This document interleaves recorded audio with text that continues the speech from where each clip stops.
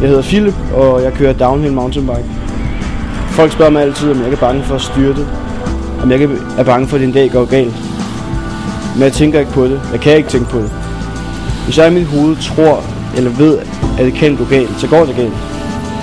Jeg bliver nødt til at være 100% fokuseret i sekundet, i stedet for at overveje, hvad der kan ske. Når jeg kører, er der en tomhed i mit hoved.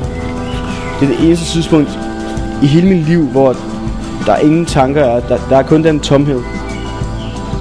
Det er kun dig. Det er kun mennesker, der skal ud af.